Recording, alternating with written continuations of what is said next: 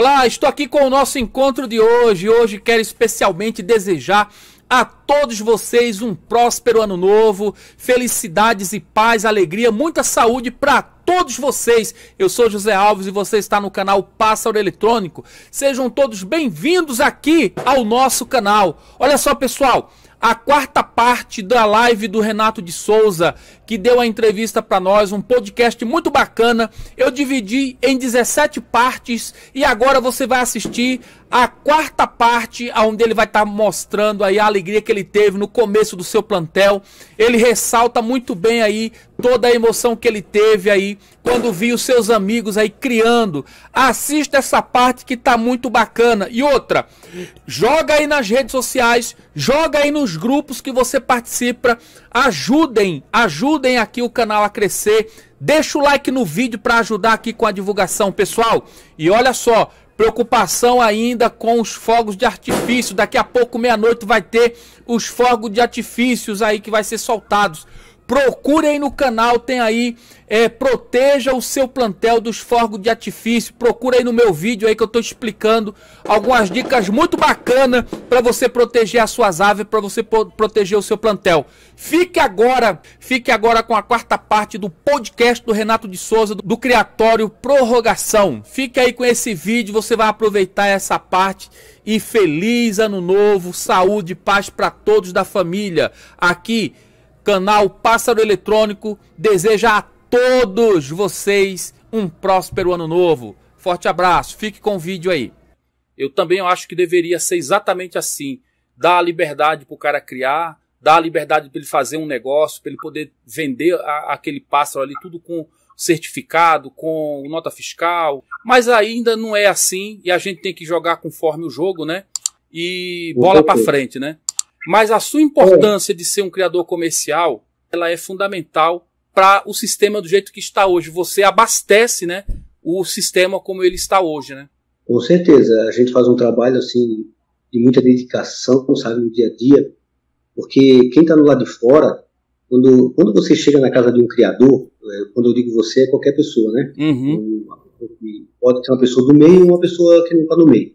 Mas quando você chega na casa do criador, eu, eu, quando era novo, que eu chegava na casa, José, quando eu chegava na casa desse meu amigo lá, e que eu via lá uma fêmea, é, até pulei essa parte, e essa parte é uma coisa que eu gosto muito de frisar, porque quando eu chegava na casa que eu era jovem, quando eu chegava na casa desse meu amigo alemão da gaiola, e que eu entrava, para tu ter uma ideia, para entrar no criatório dele, que era, era algo simples, e do lado da, de uma salinha que ele fazia gaiola, ele tinha um cadeado na porta.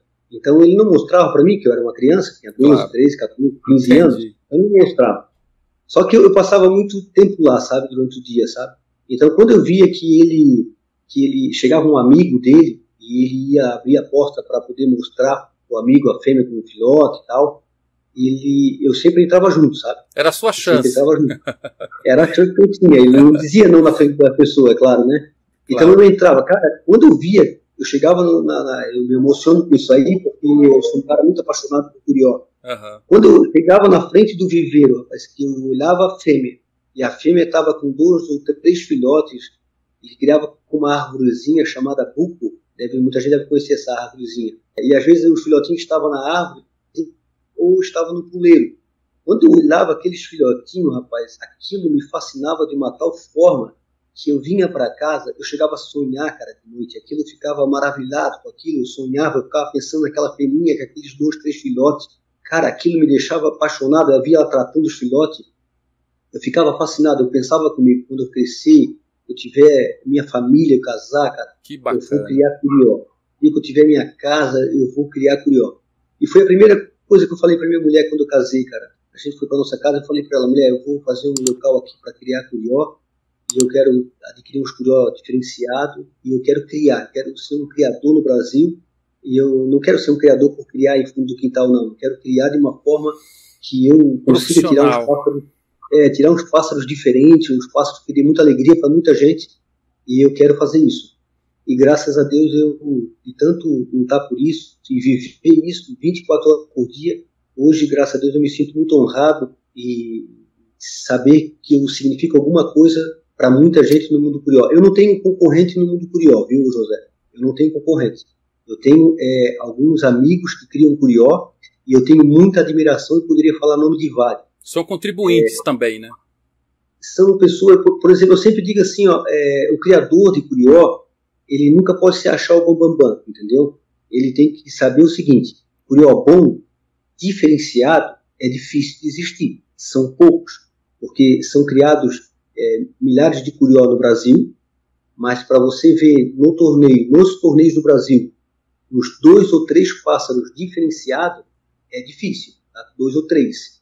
E desses dois ou três diferenciados, é que eu digo, bom tem vários, mas diferenciados são dois ou três. E mesmo assim, desses dois ou três, para preto, se um virar, é muita coisa. Então, é assim, ó, esse pássaro ele pode sair de qualquer criador. Tanto um pobre como um rico, como um conhecedor, como um mais ou menos conhecedor, ele pode vir de qualquer lugar. Você vai tirar pássaros bons? Claro que vai, mas qualquer um pode tirar, entendeu?